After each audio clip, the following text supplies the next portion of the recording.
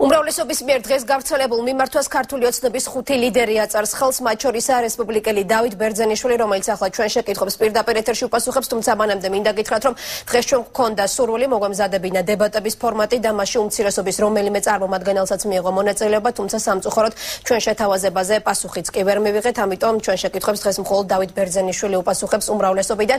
ბატონო დავით, პირველი შეკითხვა რა მიზანი ჰქონდა თქვენი მხრიდან დღევანდელი მიმართვის გავრცელებას? უმცირესობა მაიამ განცხადებაში, რომელიც დღეს გამოქვეყნა დაიდახა შანტაჟისა და მუქარის ტონი. მოგესალმებით. ნაციონალური მოძრაობის წარმომადგენლებს უჭერთ ხალხთან ურთიერთობა. ამიტომ მათ კონდათ პრობლემები საკონსტიტუციო სრულების განხილვის დროს რეგიონებში. ჩვენ მათ ახლა ვთავაზობთ ტელევიზიით, რადიოთი, პარლამენტში. დაცულ ტერიტორიებზე ვიდებატოთ, აი ნუ დღეს მაინც ვარც ამბობენ, იმედი მაქვს პარლამენტში მაინც შეასრულებენ თავის ფუნქციას.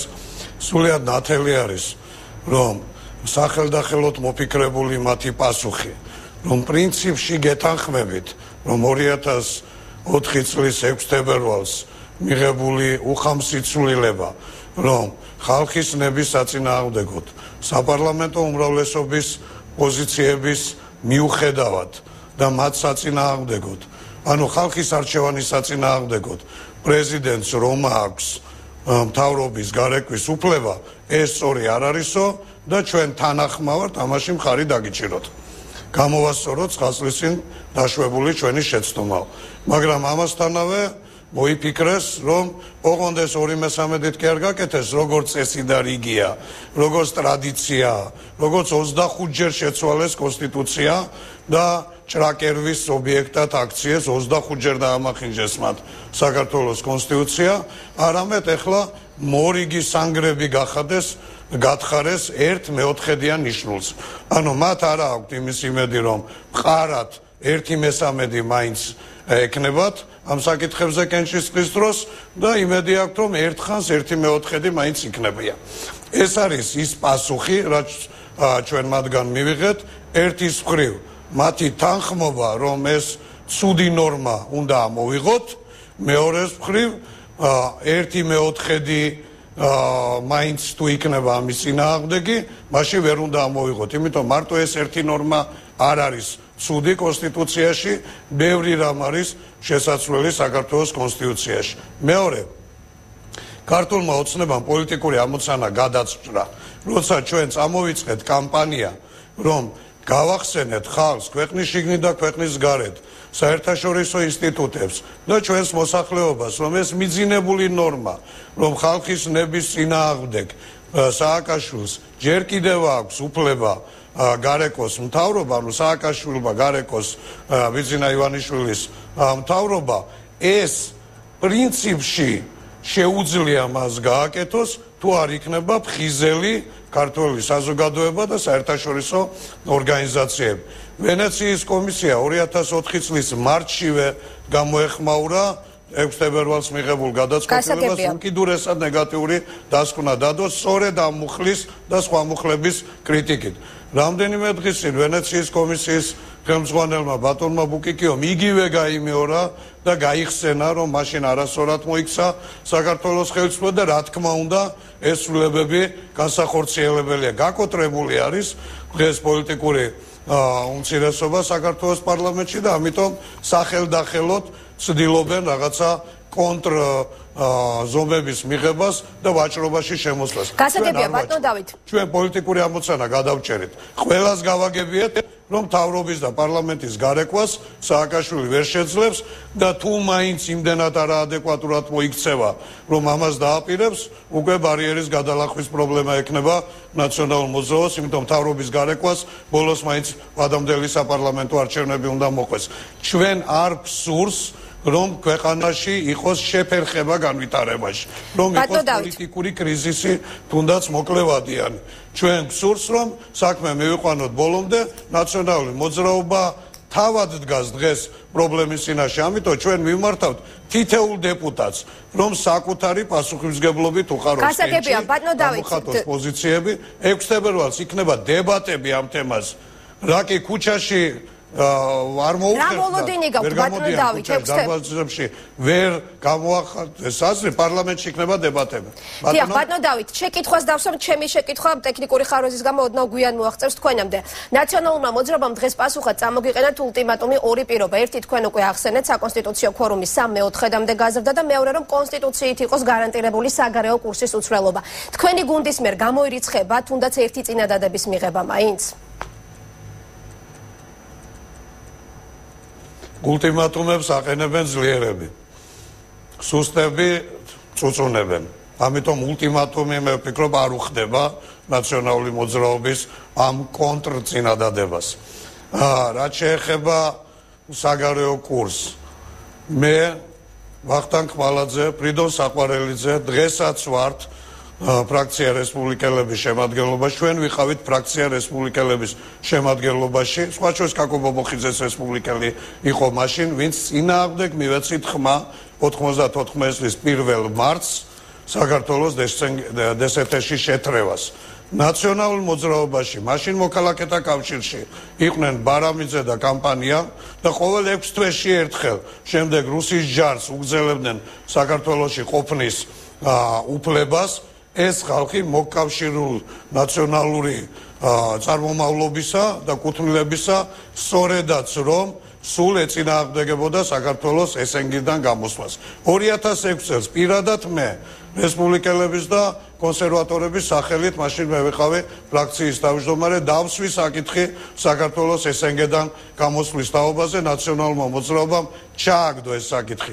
ასე რომ კურსი დასავლური ევროპული და ევროატლანტიკური ჩვენთვის ბუნებრივი იყო 90-იან წლებში და დღესაც მათ ახლა გამოიგონეს ასეთი პრობლემა არ არის ეს რეალური პრობლემა ესეც სახელდახელოდ მოფიქრებული ნაბიჯი არის მათ აღარ შერჩათ კვალიფიკაცია და გაცვლა აი ეს არის პასუხი მათ აი ამ აკმედებას ჩვენ მათ არ ვევაჭრებით ნაციონალური მოძრაობა მიხეილ სააკაშვილის ხელმძღვანელობით. ეს არის царსულის პოლიტიკური ჯგუფი.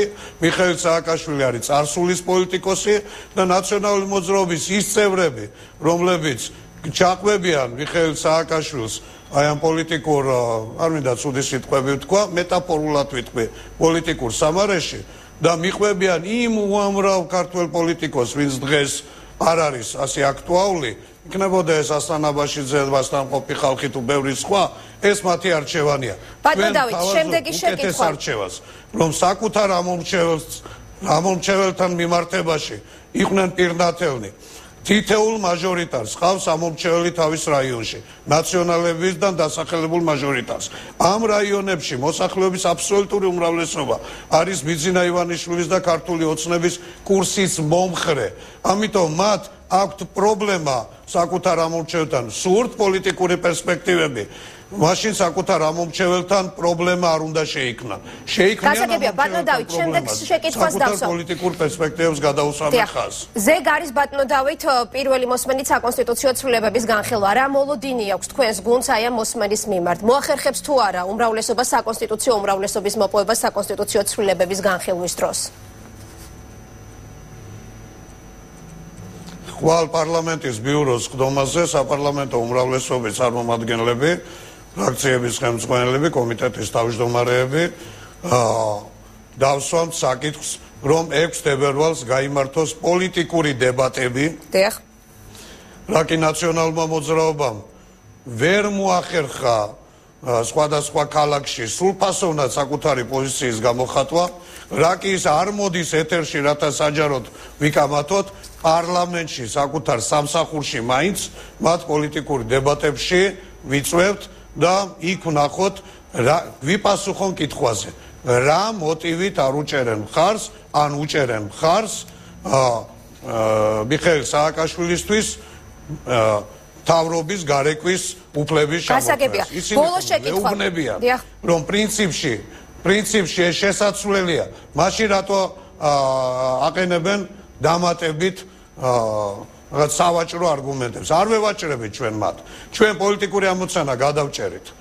და კენჭის ხრა, როცა გამართება, მაშინ იქნება 100 ხმა, 105 ხმა, 107 ხმა, თუ იქნება აზე ნაკლები, ეს პრინციპულად პოზიციას ვერ შეცვლის. პოლიტიკური ამოცანა გადაწყვეტილია, მაგრამ მათი კონკრეტული პოლიტიკური პერსპექტივები დადგება ძალიან დიდი კითხვის ნიშნის ქვეშ. ეს ჩვენი პრობლემა არ არის, ეს მათი პრობლემა არის. მიხეილ სააკაშვილთან ერთად ვისაც სურს ნაციონალური მოძრაობის აორთქლება, როგორც შევარდნაძის და აბაშიძის მოქალაქეთა კავშირი და აღორძინება აორთქლდა, ეს მათი არჩევანია. ვისაც სურს, რომ ნაციონალური მოძრაობის ბაზაზე ერთი არაუშავს სიძლიერის მქონე ოპოზიციური პარტია ჩამოყალიბდეს და იშრომონ და იღვაწონ ამ მიმართულებით, ისინი ბუნებრივია საკუთარ ამომრჩეველზე იქნებიან ორიენტირებული. კარგი, ბატონო დავით, ბოლო შეკითხვა. ჩვენ არ გვაქვს პრობლემა. ჩვენ გადავჭერით ჩვენ პოლიტიკური ამოცანა. გასაგებია დღეს თინა ხიდაშელმა გააკეთა თქვენმა თანაგუნდელმა განცხადება მთავრობის მოსალონელი დათხოვნის შესახებ და მინდა ასევე რომ თქვენს კითხოთ რამდენად რეალურად განიხილავთ თქვენს გუჩი მართლაც იმის ალბათობას რომ საკონსტიტუციო ცვლილებები შავარდნის შემთხვევაში პრეზიდენტი მართლაც ისარგებლებს მოქმედი კონსტიტუციით მინიჭებული ერთ-ერთი ნორმი და დაითხოვს მთავრობას. ამ კონტექსტში მე გაგახსენებთ ორი დღის წინანდელ განცხადებას. ვანო მერაბიშვილის მხრიდან ნაციონალური მოძრაობის გენერალურმა მდივანმა თქვა რომ მისი გუნდი არ აპირებს 4 წელი მოიცადოს. რამდენად განიხილება ეს გეგმა თქვენს კოალიციაში?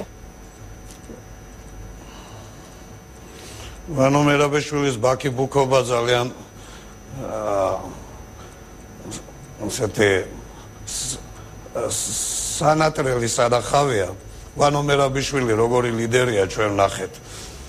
აბჯარასხმული დუმალი ვანო მერაბეშვილი რომელიც ყველა ძალოვან სტრუქტურას აკონტროლებდა.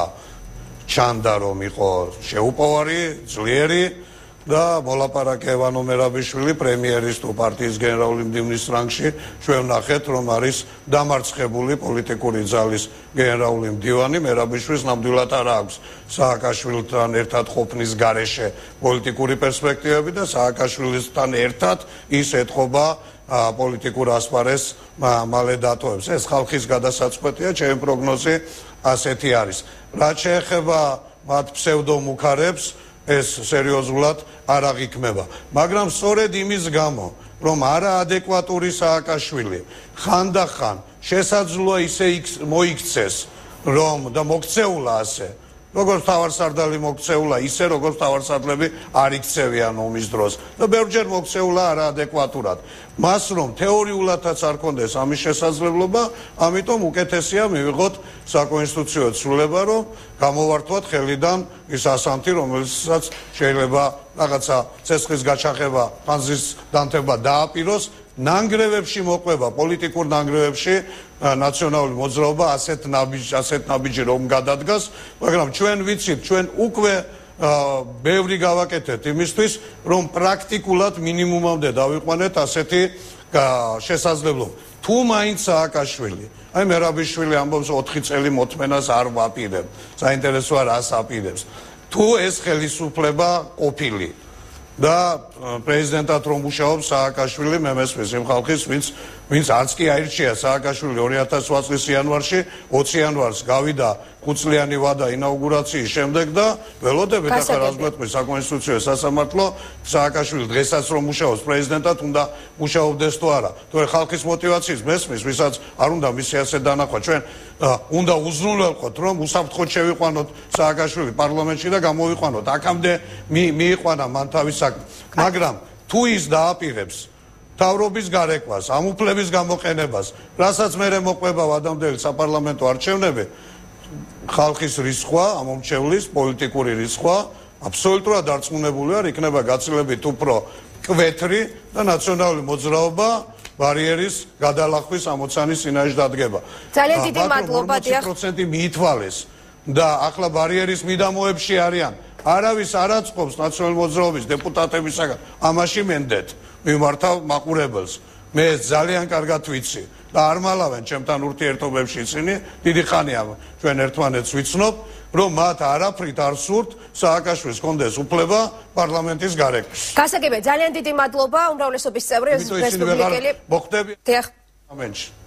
დიახ, რესპუბლიკელი დავით ბერძენიშვილი პასუხობდა ჩვენ შეკითხვებს პირდაპირ ეთერში, როგორც ნახეთ, ხვალ მართველი გუნდი აპირებს ბიუროზე გამოვიდეს წინადადებით, რომ 6 თებერვალს პარლამენტში სწორედ საკონსტიტუციო ცვლილებებზე შედგეს დებატები ოპონენტ ძალასთან.